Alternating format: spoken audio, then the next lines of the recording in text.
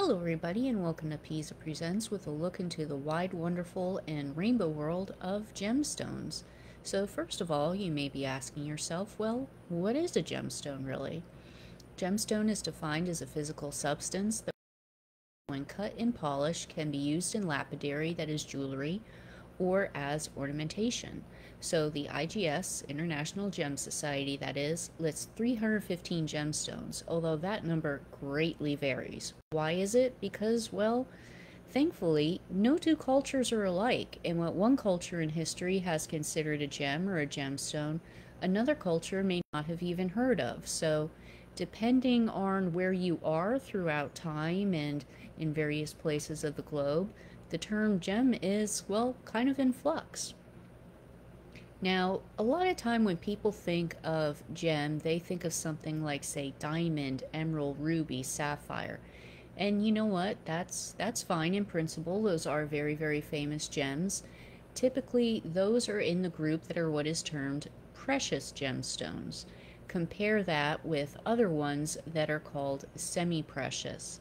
Now, just so that you're aware, though, those terms are gradually falling out of disfavor because of the implied semi precious, semi. It's almost like it's not as good as the other ones, and because of what we just went through earlier, different cultures considering different things a gem and not. Basically, instead of just using precious or semi precious, what do you say? Well, you just call everybody's gemstone a gemstone and forget calling something semi or just precious itself. They're all the same. So now to start off some of these gems, first off is agate, which Mindat defines as a distinctly banded fibrous chalcedony, which is a very word salad way to describe an extremely stunning specimen like that. I mean, you just look at it and it's absolutely gorgeous. Agate has been used since classical times, so say the ancient Greeks and Romans. And I picked that not only because it's utterly gorgeous, it's a Mexican crazy lace agate to be exact, but it also employs the rather entertaining tendency of some people to use anything other than a ruler to gauge measurements. So that particular agate is about five tennis balls wide. Alexandrite, which is a form of chrysoberyl, was first found in Russia. It was named for the then Prince Alexander II, later Tsar, or basically their emperor. Now, alexandrite shows a color change in natural versus incandescent light, which that is the same specimen right there, just natural versus incandescent. Amber is, of course, fossilized resin, and its usage in lapidary dates to 13,000 years ago. That right there are different colors of just Baltic amber, which is probably the most famous type of amber, is that from Baltic regions. Beryl is a various, well, beryl is a gem of many types. Two of them are aquamarine and morganite. One we'll go into later. My personal favorite is aquamarine. Now, it was once more priced if green, but today's choice color is blue. We know that because of, uh, like, say, sales standards and what have you. Morganite was named for the financier J.P. Morgan, too. So, birthstones. Okay, the origins of birthstones are very debated. It isn't quite as bad as what this Rupert Glito says, where they were, quote, nothing but a feast of unfounded states salesmanship. Now, there are in many cultures all throughout the world, uh, whether they be gemstones or even a particular plant or an animal, the tradition of associating something with a birth month is by far and away not a new idea. It's one that is very, very old. So you can look at it that way, in that in concept, the idea of a birthstone is a very old one. It may have its origins in a couple of passages in the Bible that denote a breastplate referencing the 12 tribes of Israel. There's, for each particular tribe, there's one stone, but that's something that both biblical scholars and gemologists argue about a little bit. It's maybe not true. Now, it isn't until the 16th century that records specifically denote the practice of observing gemstones. So it's kind of old, really, and however, the modern list was only standardized in 1912. So chrysolite is actually not a mineral. It's a name given to several green minerals such as chrysoberyl, olivine, my favorite in the group, or prehnite. Coral and shell has been in used has been in use as ornamentation since prehistory. So that right there is a necklace made by a Navajo craftsperson and is on display at the absolutely stunningly wonderful Brooklyn Museum. I highly recommend it if you haven't been. So yes, uh, coral shell, well, shell was considered a gem by the Navajo. Lots of other cultures considered shells gems as well. Now, diamond is not quartz or any other mineral but bonded carbon. Do not go with me to a, like, say, a little rock and gem shop or do internet searching, and it just drives me crazy if I see a website or somebody says, yes, that Herkimer diamond really is a diamond. No, it isn't. A diamond itself is just a diamond. That right there is probably the world's most famous diamond, the Hope Diamond, which is on display at the Smithsonian and for reasons that escape me is always given an absolutely hideous setting. Now, how do you spot a fake diamond?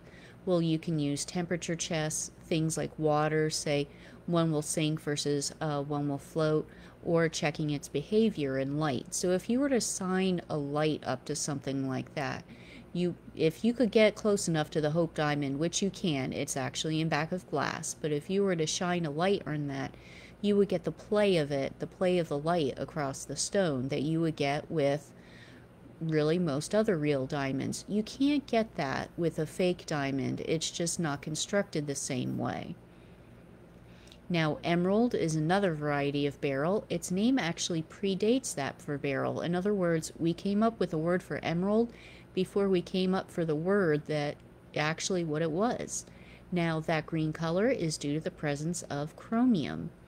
So here is garnet, speaking of green, that can be one of the many, many colors of garnet, which is actually not a single mineral, but a rather large group of minerals.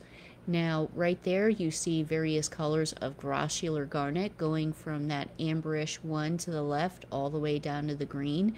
And that's another uh, photo from the Smithsonian. Jasper is yet another not official mineral name. It usually denotes something that is like a reddish brown color in part because jasper has a tendency to have a lot of iron with it. It's associated with iron minerals, banded iron formations. But this right here, I picked just to show the variety because it's actually green jasper. It is, to be exact, a ring from Egypt in green jasper and gold from 664 to 322 BCE. Lapis lazuli is the name given to the mineral formerly known as lazurite or the rock that hosts it. It's not only been used as a gem, but also too as a pigment for a particular paints, like back in a lot of places during the Western Renaissance. In order to, say, paint a picture of the Virgin Mary, you had to use lapis. It was just basically nothing else was considered good enough. Now, moonstone is yet again not an official mineral. It's the term given to a white feldspar with blue tones that have an effect called adularescence, where it basically has that shimmery thing right there. Some people com uh, compare it to the shimmery effect of clouds or of the moon itself. So opal is not a mineral, uh, not a mineral, but a mineraloid is what it's called pearls are indeed formed inside the shell of a mollusk. You get a tiny little piece of dirt, and then forming around it is what's called nacre, N A C R E. And then it just forms and forms and forms, basically all these little concentric rings around it until you form a pearl. So, peridot, which is one of my favorite minerals, it's a variety of forsterite, has a rather interesting history. Uh, we've been able to tell from looking at source documents that a lot of times people have mistaken it for emeralds and vice versa. Very famous locality for peridot is there's actually, it's sometimes called the Gem Beach. There is a beach in Hawaii that has green sand because it's mostly just peridot and related minerals. I tried to go there when I was in Hawaii, but the road into it was blocked for a very Hawaii reason, which was a volcano had just erupted and actually covered up the only road in and out of this beach. Nobody was hurt, fortunately. So this right here is quartz. Some, well, it's what uh, public access images call quartz. So some noted varieties of quartz are amethyst and citrine, which allegedly is that. Now, any variety has the same formula, SiO2. So amethyst has that formula, citrine has that. Just absolutely clear quartz or milky quartz. Now, the colors themselves are from impurities within the crystal lattice. A lot of times, and even at the last meeting, people ask about fake citrine, which is getting to be an increasingly problematic thing. Now, so again, this was literally a public access image that I pulled up. It was one of the first ones that I pulled up on the source that I use. And I'm looking at this, and it's just this would be a very good teaching moment because that is one heck of a sus citrine. So basically, how you can tell, first of all, uh, you can get that sort of color if you superheat amethyst. So that's what some disreputable people do because citrine is one of the rarer colors of quartz, that orange tone to it. So basically, some will superheat amethyst with to about 878 to 1382 Fahrenheit, or if you're Celsius, it's 470 to 750. Now, how can you tell them apart? Well, look at that uniform color. Where it's orange, it's all the same value and tone of orange from top to bottom. You don't have any inclusions, anything that's within it, any darker areas like it should if it's a natural crystal. So if you have that tang color orange all throughout the whole thing, then chances are it's probably superheated citrine. This right here is sapphire, which is a variety of corundum, specifically a star sapphire. Iron or titanium makes it blue. Here is a spinel, which is commonly used as an aesthetic substitute for ruby. It can actually, though, have many, many more colors. I find it more interesting than ruby myself, but I don't know. I just like magnesium minerals. Now here is tanzanite, which is a gem variety of zoisite, that huge formula right there. It has a blue and purple color. Now, this was only discovered in 1967, which is interesting because it's a very, very popular and very well documented stone. Why is that? Because of one heck of a good PR campaign. So it was discovered, and they wanted to make it kind of like the next best thing, gemologically speaking, since sliced bread. So they just advertised the heck out of it.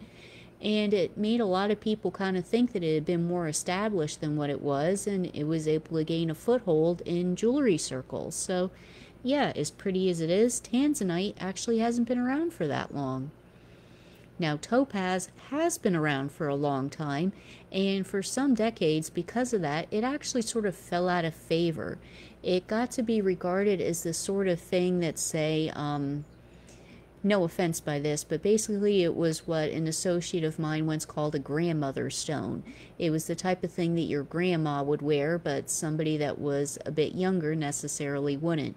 But nowadays, with a resurgence in things like, say, cottage core and a lot of those other aesthetic styles, it's becoming more popular again. Oops, wrong way, sorry folks.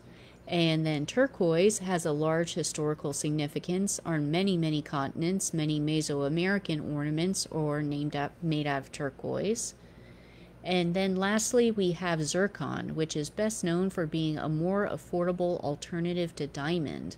So I thank you very much, folks, for joining us on this look into the world of gemstones.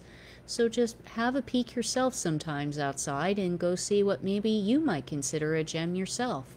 So thank you much and have a good day now. Bye.